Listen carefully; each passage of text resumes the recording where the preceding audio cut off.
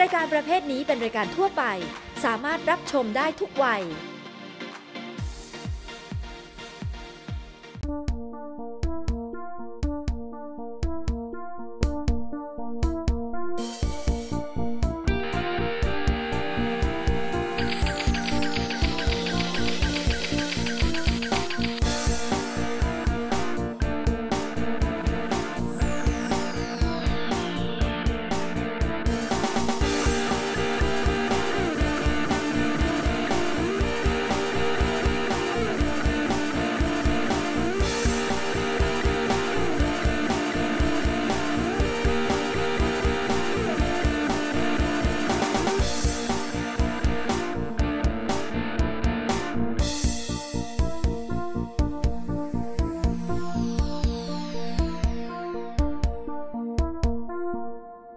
นับสนุนโดย All New Nissan X-Trail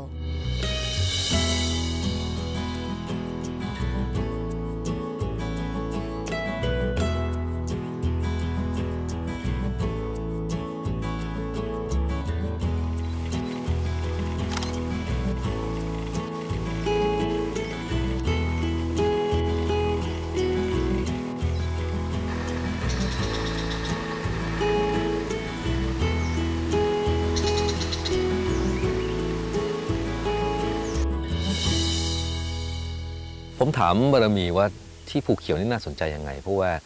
ก่อนหน้านี้นะครับที่พอจะทราบข้อมูลมาก็คือเป็นเป็นแมนเมดเป็นป่าที่มีคนเข้ามาแทรกแซงธรรมชาติคือมาสร้าง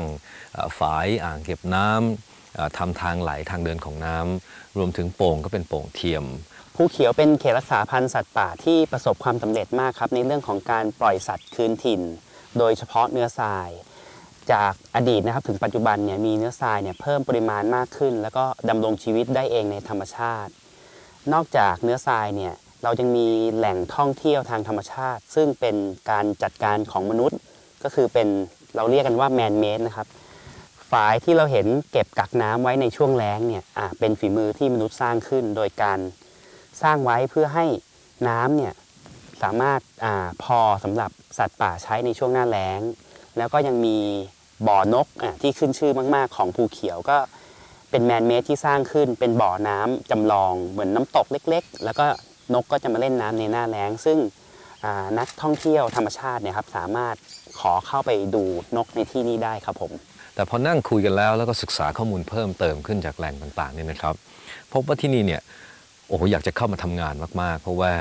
เอ่อในความที่ คนเข้ามาบริหารจัดการในจำนวนหนึ่งของผืนป่า แต่สภาพธรรมชาติที่แท้จริงก็ยังมีอยู่ และที่สำคัญคือการเข้ามาแทรกแซงเนี่ยมาเพื่อสร้างสรรค์จริงๆนะครับ เพราะว่าสัตว์ที่ปล่อยคืนกลับสู่ธรรมชาติมีจำนวนที่มากมายทีเดียว แล้วก็ส่งผลถึงการเข้ามาเป็นส่วนหนึ่งของระบบนิเวศที่ดีมาก เช่นเนื้อทราย เก้งกวางละมั่งต่างๆครับ นอกจากแหล่งท่องเที่ยวที่เป็นแมนเมดซึ่งมนุษย์สร้างขึ้นนะครับ ยังมี แหล่งตามธรรมชาติคือเป็นโป่งจริง ๆ โป่งใหญ่กลางป่า ซึ่งน่าทึ่งมากเป็นโป่งแล้วแบบช้างเนี่ยกิน แล้วก็ขุดดินเนี่ยเข้าไปแล้วช้างเข้าไปได้เป็นครึ่งตัว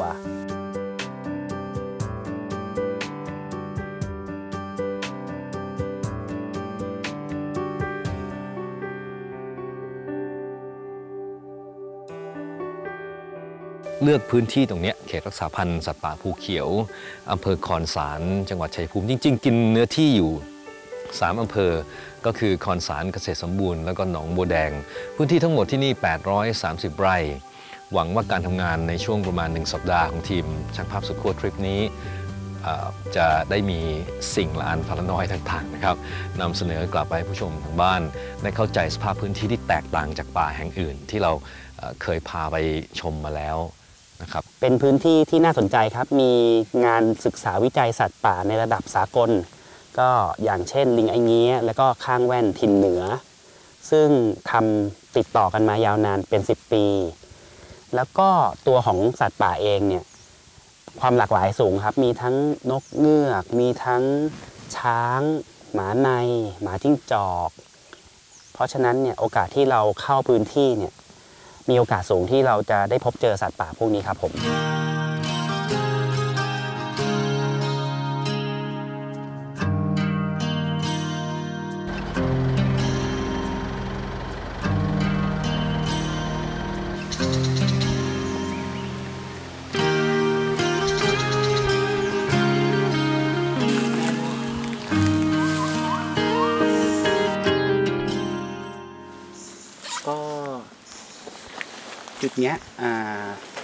ยเจอข้างแว่นถิ่นเหนือครับคือข้างแว่นถิ่นเหนือเนี่ยจะหาดูยากกับกว่าข้างแว่นถิ่นใต้ เราก็เลยแวะมาจอดดูว่าเผื่อจะเจอบ้างเหมือนครั้งที่แล้วหรือเปล่า ปรากฏว่าพอผมก็มายืนได้ยินเสียงชะนีก็ฟังไปทางนู้น ปรากฏว่าไอ้เมื่อกี้มีชะนีมือขาวอยู่ครอบครัวหนึ่งอยู่บนหัวเลย แล้วก็หนีไปทางนี้แต่ถ่ายไม่ได้ลบ เมื่อกี้เห็นนับจำนวนคร่าวๆก็ประมาณสี่ตัวอย่างน้อย เสียดายถ่ายไม่ได้ ในอดีตนะครับเขตรักษาพันธุ์สัตว์ป่าภูเขียวเนี่ยเป็นแหล่งอาศัยที่สำคัญของกระสู้ กระสู้ก็คือแรดสองนออของบ้านเราเนี่ยในอดีตเนี่ยมีทั้งแรดก็คือแรดที่เราเรียกกัน แล้วก็แรดสองนอก็คือกระสู้ แต่ปัจจุบันเนี่ยทั้งสองชนิดเนี่ยสูญพันธุ์ไปจากเมืองไทยแล้ว แต่ก็ยังมีความหวังนะครับในในช่วง 10 กว่าปีเนี่ยมีการพบรอย แต่ว่ายังไม่มีภาพถ่ายยืนยัน เพราะฉะนั้นเนี่ยเราก็ยังมีความหวังว่ายังอาจจะมีเขาอาศัยอยู่ในพื้นที่แห่งนี้ครับผม และสัตว์ที่ปล่อยกลับคืนสู่ธรรมชาตินะครับอย่างเนื้อทรายแล้วก็นกยูงเนี่ยสามารถจะกลับไปมีวิถีชีวิตที่สมบูรณ์มากอยู่ในแหล่งธรรมชาติ ก็เป็นเอ่อเป้าหมายที่พวกเราจะต้องมาตามเก็บเรื่องพฤติกรรม แล้วก็เก็บภาพรวมทั้งการทำงานต่างๆ ด้วยนะครับ สภาพอากาศวันนี้เพิ่งมาถึงในพื้นที่วันแรกเนี่ย อุณหภูมิน่าจะ 10 กว่ากว่า นี่คือสภาพล่าสุดของภาคอีสานของบ้านเรา อีก 7 วันข้างหน้าครับ ดูกันว่าทีมงานจะเข้าไปเจอเจออะไร เดี๋ยวสักพักหนึงจะเข้าพื้นที่ข้างในแล้วไปดูว่าที่พักเรื่องที่กินที่อยู่อะไรเป็นยังไง รวมถึงวางแผนการทำงานอย่างละเอียดตลอด 7 วันด้วย นี่คืองานของช่างภาพสุดขั้วทริปนี้ที่เขตรักษาพันธุ์สัตว์ป่าภูเขียวจังหวัดชัยภูมิครับ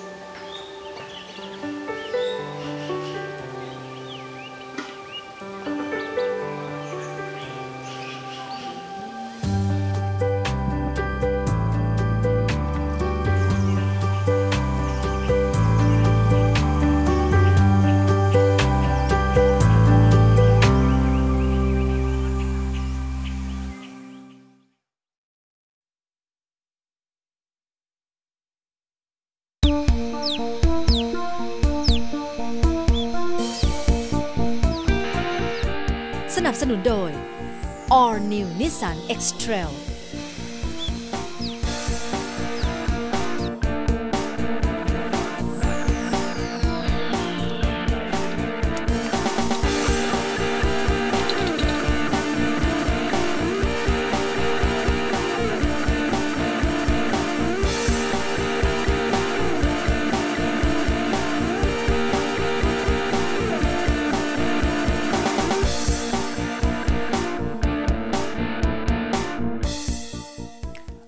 ระหว่างเมื่อกี้เนี่ยครับที่ถ่ายสัมภาษณ์อะพี่แจ็คกำลังสัมภาษณ์พี่เบย์อยู่ผมก็ว่างอยู่ ก็เดินเล่น เดินเล่นเนี่ยทริคของช่างภาพไวไลท์คือต้องถือกล้องไปด้วย แล้วก็ไม่ผิดหวังเราเดินไปเงียบๆค่อย ๆเดินไป ตอนแรกเห็นรอยที่พื้นเป็นรอยเขี่ยรอยที่เราเรียกไก่เขี่ยมันจะกระจายกระจายก็เอ๊ะชัวร์แล้วน่าจะน่าจะมี subject ค่อยๆเดินเดินเดินไปเจอ ไก่ฟ้าหลังขาว เจอตัวผู้สองตัว แล้วก็ตัวเมียแปดตัวอฝูงเนี้ยสิบตัว สวยมากเลยแล้วก็ผมก็ค่อย ๆ คาน กึ่งคานกึ่งนั่งกึ่งคานกึ่งนั่งจนได้ได้ระยะ ก็แป๊บเดียวครับ ก็ยังได้ได้ภาพดีๆ ติดมาอ่าก็เนี้ยเป็นเส้นทางเดินศึกษาธรรมชาติ แล้วก็ตรงที่เจอบ่อยที่หนึ่งก็คือตรงบริเวณรอบๆตรงรอบๆตำหนักอ่าตรงนั้นก็จะมีฝูงใหญ่ ๆ อยู่ ถ้าเช้าเช้าเราเดินมาแล้วเราไม่ได้คุยกันเสียงดังเนี่ย โอกาสที่เราเจอเนี่ยมีเยอะอะเนี่ยได้จังหวะเดิน เดินเสร็จปุ๊บ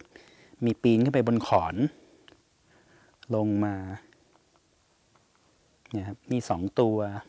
มีตัวหน้าตัวหลัง มีตัวผู้ตัวเมียอะไรเงี้ยเนี่ยแค่เรายังไม่ได้ทำซุปบางไผ่เลย ทีนี้ถ้าเกิดเราเรารู้จุดแล้วเราแบบตั้งเป้าว่าเราจะถ่ายตัวนี้นะ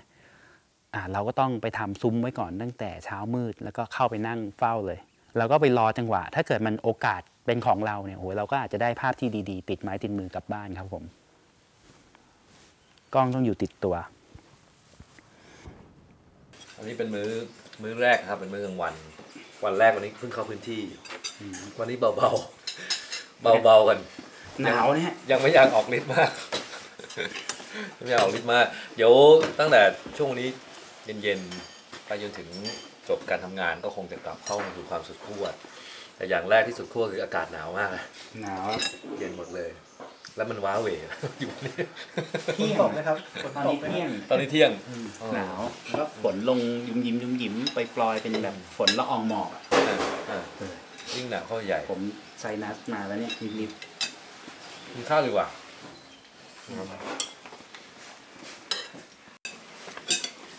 ดี๋ยวมีไข่เจียวอีกอย่างหนึงครับอ๋อครับขอถ้วยอันนี้หน่อยได้ไหมคือแบบ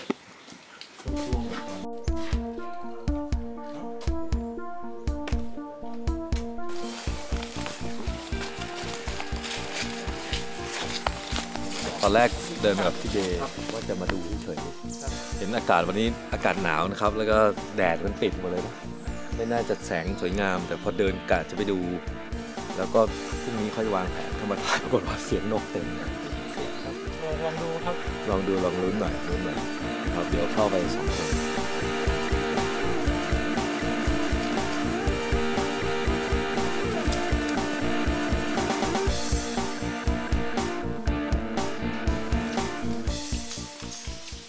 ตอนแรกที่วางแผนมาภูเขียว สึกว่าเออน่าเป็นทริปสบายมีบ้านพักอาหารการกินอือฮึหนาว ลงรถมาก็เย็นเจี๊ยบมาเลย สุดขั้วตั้งแต่ยังไม่เริ่มงานเลยเอามาดูเรื่องช็อตประทับใจดีกว่า อันนี้คือ อันนี้ที่ที่ภูเขียวครับภูเขียวครับอ่าตอนที่เราเข้ามาเนี่ยจะเป็นลำน้ำสายหลักอีกอ่าเส้นหนึ่งลำน้ำพรมลำน้ำพรม อันนี้คือข้างแว่นทิศเหนือ ใช่โอเคอะข้างแว่นถิ่นเหนือ จะมีความคล้ายคลึงกับอืมข้างแว่นถิ่นใต้มากครับอ่าถ้าเกิดคนคนไม่เคยเห็นเนี่ยอืม ถ้าเจออยู่ด้วยกันเนี่ยอาจจะดูไม่ออกแยกไม่ออกอ่าแต่ว่ามันถ้าเกิดสังเกตดีๆเนี่ยไอ้ถิ่นเหนือเนี่ยหัวมันจะออกแนวพังครับๆขนมันจะเป็นอย่างเงี้ยขึ้นมาอ่าแต่ในธรรมชาติถ้าเกิดเห็นแบบไวๆแล้วก็ไม่ทันสังเกตอืมส่วนใหญ่จะดูที่การกระจายพันธุ์อือฮึอ่าครับ แล้วก็พื้นที่ที่มีข้างแว่นทินเหนือที่พบในธรรมชาติที่เห็นบ่อยหน่อย ส่วนตัวผมผมเจอแค่สองที่ก็คือที่เขตรักษาพันธุ์สัตว์ป่าห้วยหยาแข้งอืมอ่า กับเขตรักษาพันธุ์สัตว์ป่าภูเขียวก็คือสงที่เนี่ยครับที่นี่ที่อื่นเนี่ยไม่ไม่ไม่ไม่ไม่ไม่ค่อยเจอครับอือฮึครับอืมแล้วก็พฤติกรรมเนี่ยยังเห็นตัวเนี้ยครับมือจุ่มไปเนี่ยตัวขวาถ้านะถ้าข้างเดียวเนี่ยอ่าบางทีถ้าเกิดช้อนขึ้นมานี่คือวักน้ำกินแต่ถ้าจุ่มแบบนี้คือล้วง ถ้าเกิดเราไปทางอีสานกับทางลาวครับ มันจะมีสาหร่ายที่ปั้นเป็นก้อนกลมอ่าๆที่เรียกว่าไข่อ่าฮะอ่าไอเนี้ยดึงมาเป็นปลาบุญจิ้นเลย แล้วก็กินใช่เลออ่าเฮ้ยอย่า แล้วก็ดึงกินดึงกินเออแล้วก็เป็นครั้งเดียวที่เจอตรงนี้ หลังจากนั้นพอพอมาก็ก็ไม่ค่อยเจอ ส่วนส่วนใหญ่จะเจอทางจุดชมวิวที่เมื่อเช้าพาไปดูครับครับอ่าครับ อันนี้ลำน้ำพรมครับแต่รูปนี้คือลงไปอยู่ข้างล่าง ไม่ครับระนาบเดียวกับเขาไหมไม่ละนาบอันนี้เหรอกดสูงมากเลยอ๋อเหรออ่าโอ้มันไกลครับพอมันไกลเลยตีบมันเลยดูว่าเหมือนเราไปนั่งอ๋อแต่จริง ๆ มุมเราสูงกว่าประมาณนี่คืออยู่สามบนชั้นบนสะพานเลยใช่ใช่ไหมครับ เลนก็คือพาดอยู่บนไอ้ขอบปูสะนพานนั่นขแหอละบสะพานนั่นแหละ พอเราโผล่ไปเห็นปุ๊บเราก็แอบใช้ใช้ละไอเนี่ยบังแล้วก็แอบแอบก็โผล่กันไปสองสามคนก็อ่าฮะเอาเลนพาดไปถ่ายอ่าเขายืนยันว่าเขายังมีถิ่นอาศัยแล้วที่หนึ่งที่นี่นะที่ภูฝูงเขียวแน่ๆฝูครับงฝูงก็ใหญ่กว่านี้มากอืมแต่ว่า เลือกเจาะแค่แค่กลุ่มนี้อืมมันก็จะมีตรงนู้นตรงนี้แบบโอ้โหอ๋ออัอันนั้นฝูงค่อนข้างใหญ่ ไม่ได้อยู่ชิดๆกันก็กระจายใช่กันแต่เป็นใช่ฝูงใหญ่ครับฝูงหนึ่ง มันจะแบบใช้ตัวหินเป็นที่นั่งไงแล้วก็รวครับมไปจับอ่าตรงไหนเหมาะก็นั่งกันเต็มเลยอือฮึครับผมหวังว่าทริปนี้จะมีโอกาสเห็นภาพแบบนี้บ้างโอ้โหยังอยากเห็นอีกสักครั้งครับสวยมากต้องดูว่า 7 วันเราจะได้อะไรจากทริปนี้เหมือนกันนะครับผมนี่คือหนึ่งภาพประทับใจที่เขตรักษาพันธุ์สัตว์ป่าภูเขียวของบารมีแต่มูลเกียรติครับ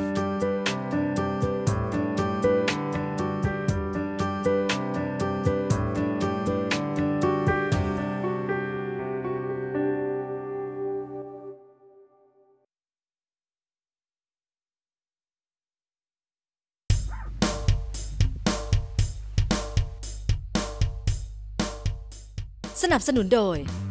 All New Nissan X-Trail ฟูเกียสวันนี้เราจะมาพูดถึงอุปกรณ์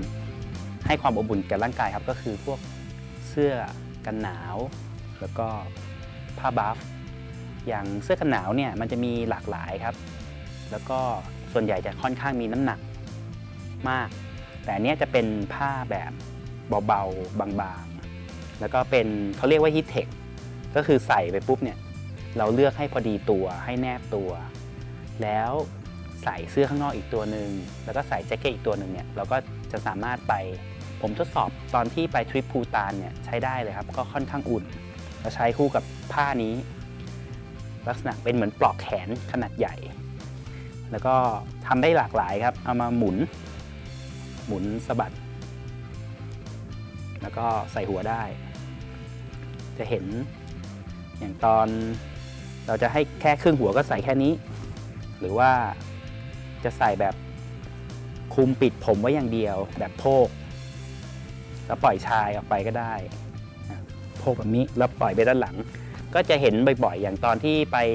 วานบูด้าบางทีแบบใส่ไว้ข้างหน้า แล้วก็ขมวดขมวดเหลือได้ลูกตา อันนี้ก็คือกันแดดด้วยกันลมด้วย แล้วก็กันหนาวตอนกลางคืนบางทีเราลำคาญตรงนี้เราก็ดึงมาคลุมไว้ที่คอได้ ราะฉะนั้นไอ้ตัวพวกนี้ครับน้ำหนักเบาแล้วก็ทำให้มีความสุขกับการนอน ถามว่าทำไมครั้งนี้เอามาแนะนำเพราะว่าเห็นบ้านสวยงาม มีที่พักสวยหรูภารกิจครั้งนี้เราแบ่งเป็น 2 ส่วนครับส่วนหนึ่งคือผมจะไปในจุดที่เป็นโป่ง แล้วก็จะไปนอนค้าง เพราะว่าเป้าหมายเนี่ยคือช่วงเย็นและก็ช่วงเช้ามืด ซึ่งมีโอกาสสูงที่สัตว์จะมาที่โป่ง แต่ว่าช่วงเนี้ยหนาวมาก เมื่อตอนเที่ยงที่เราทานข้าวกันเนี่ยอุณหภูมิเลขตัวเดียว พูดกันบางทีเนี่ยควันออกปาก เพราะฉะนั้นตัวเนี้ยจะช่วยปกป้องไออุ่น แต่ส่วนพี่แจ็คก็จะนอนในที่นอนมีฟูกนิ่ม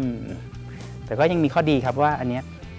ก็อภินันทนาการจากพี่แจ็คจากการไปเที่ยวมาก็ ไปทุกครั้งก็อย่าลืมซื้อมาฝากน้องครับก็ครั้งนี้ครับอุปกรณ์สำหรับปกป้องความหนาวเย็น เสื้อแล้วก็ผ้าบัฟครับ แบบนี้นะครับถ่ายไปแล้วเนี่ยอันเนี้ยผืนนี้ก็จิ๊กช่างช่างตัดต่อมาครับ ตอนนี้ช่างตัดต่อก็คงรู้ตัวแล้วเพราะกำลังตัดอยู่ ดูแล้วว่าหายไปไหนมันใส่แล้วมันเหมาะกับหัวผมมากเลย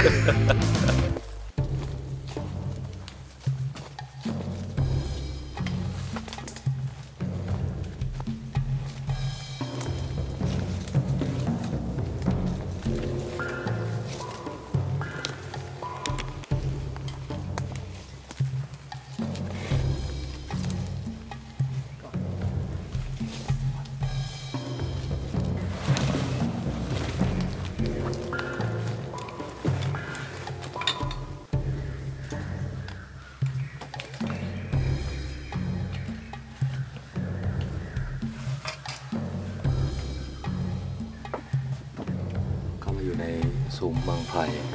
ทำไว้ดีมากๆเตี้ยเดี๋ยวรอลุ้นกันนะครับ อยู่สักสองสามชั่วโมงนะพี่เบย์ครับประมาณนี้นะครับจะมืดนะครับ เย็นนะครับเอ่ออากาศวันนี้มันมืดอีกแล้วครับเออยิ่งมืดเข้าไปใหญ่เดี๋ยวรอลุ้นทำงานอยู่ครับ เราต้องเก็บเสียงด้วย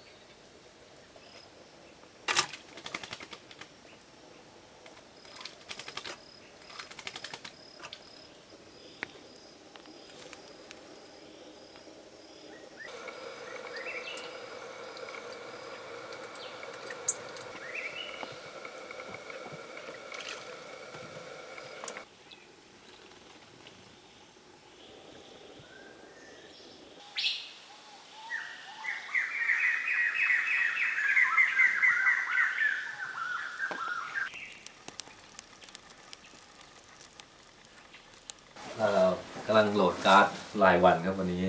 วันนี้จริง ๆ มาทดสอบสถานที่ใช่ไหมชิวๆซัดไปเยอะเหมือนกันนะเนี่ยครับแล้วช่วงแล้วช่วงนี้ปกติที่ภูเขียวนี่เขาจะมีโซลาร์เซลล์ใช้ ครับ แต่ไม่มีแดดมาสามวัน วันนี้เป็นวันที่สี่ฮะซึ่งตรงกับช่วงที่เรามาทำงานเยี่ยมมาก ๆ เลยเราใช้ไฟปั่นเอ่อสุดยอดสามทุ่มก็ปิดฮะปิด นี่คือเรามีเวลาตอนนี้ประมาณมีทุ่มคครึ่รึ่งงทุ่มครึ่งมีเวลาครึ่ง ชั่วโมงครึ่งชั่วโมงครึ่งครับชั่วโมงครึ่งชาร์จแบตเตอรี่ ผมก็ต้องชาร์จให้เต็มไว้หมดเลย เพราะว่า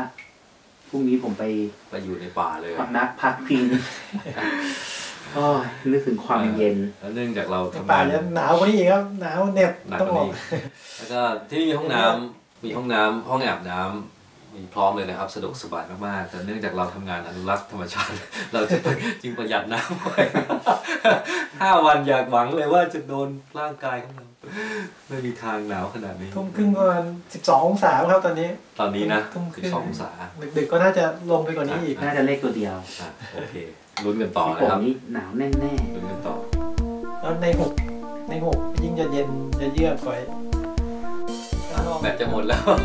ชอบทำทำสัญญาบันคอบันคอ